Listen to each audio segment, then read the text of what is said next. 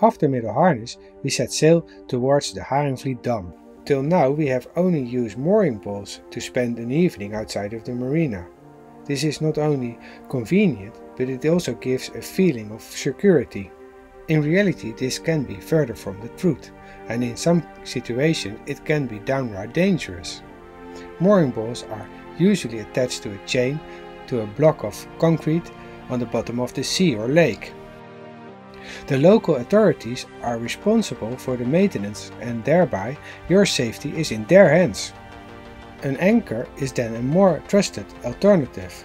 The only scary thing is setting the anchor, but when it is set you are far more safe especially with strong winds. The anchor chain that came with this boat didn't look all that promising, so I have never dared to use it and certainly not when I'm asleep. And because we want to anchor a lot during this trip, we bought a new chain and now it's time to test it.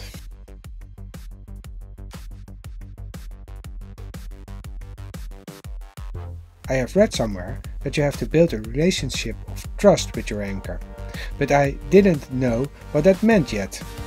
Setting the anchor did go very well, but in the following night we were tormented by an anchoring alarm app that randomly went off. So the next morning we awoke a bit out of sync, and where last night we were afraid that the anchor wouldn't hold, this morning we were afraid we couldn't get it out of the bottom. The weather had changed considerably for the worse, but we were happy to be alive and on our way again. Life as a liveaboard is a bit different than living in an apartment. You can run out of things like gas, water and diesel for the heater and the engine, so you have to check regularly if you still have enough. We also don't have a washing machine on board, so we have to find a marina that has one and is also close to shops to buy fresh groceries. The Stoutville is such a marina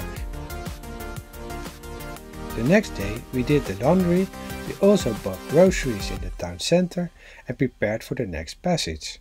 The next time we had to cross the Dordtse Kil. Some claim this is the most dangerous body of water in the Netherlands due to the busy traffic with big container ships. But that is something for next time.